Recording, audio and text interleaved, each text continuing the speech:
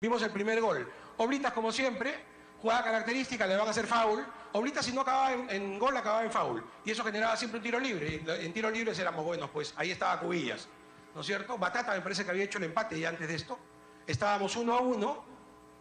Y con ese ángulo Teófilo Cubillas ha lucido más de una vez, ¿no? 82 minutos, no, antes. Sí, 82 minutos de juego, casi al final. Empatábamos, oye, el empate era un muy buen resultado. ¿ah? Faltaban 8 minutos para el final del partido, empatábamos en Brasil, gran resultado.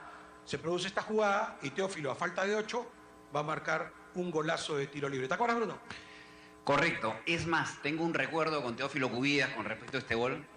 Yo tenía una secuencia que se llamaba... Lo voy a comentar después del salto de Casareto. Ya, ya.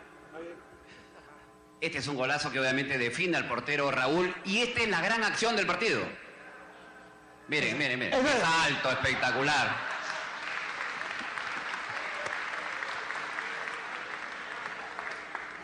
Es espectacular. Bueno, la, la pivotea Osvaldo Cachito Ramírez, saca un remate de larga distancia.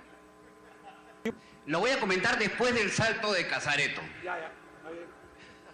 Este es un golazo que obviamente define al portero Raúl y esta es la gran acción del partido. Miren, miren, miren. Es. Salto espectacular.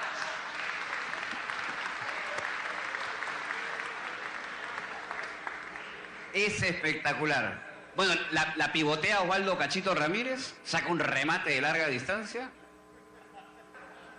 Miren, miren, miren. Es. Salto espectacular.